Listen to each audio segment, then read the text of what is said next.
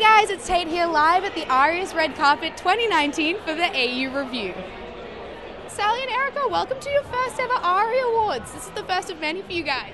Thank you. so. Are you excited for the night? Pretty excited, yeah. I've, I've heard that it's all just a big school assembly with more alcohol. That's exactly it. Or it's like a high school reunion, really. Yeah. Yeah, I've- I like assemblies though because shit always went down at assemblies. Yeah, you know. I had people fainting in my assemblies in high school. See, I hope it doesn't happen like that.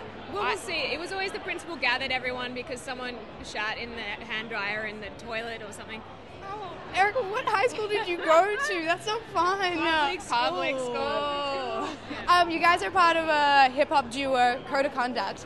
Um, do you guys reckon next year you guys could be at the ARIAs for that rather than Triple J? Definitely. We've got plans. Yeah. We'll be doing it all. Yeah. We'll be here for both. Can't We'll What can you. What can you tease for us? What's 2020 look like? Musically, we would love to keep writing, keep releasing. We just put out an EP like two weeks ago, but hot on its heels, we've got a bunch of writing sessions lined up. So hopefully some new music on the way before mid-year. We'll see how we go. Exciting. Um, and we've got to talk about it. You're the new Triple J breakfast show. What is your What are you going to do to wake up early? Like, do you have a tip in mind? Have the boys already told you something? The magic secret to being good at mornings? Uh, the boys have not given us any wisdom, unfortunately. No, Erica's plan is that breakfast show is just big old kick-ons. Don't sleep. Yeah. Don't sleep. Just kick-ons from the night before.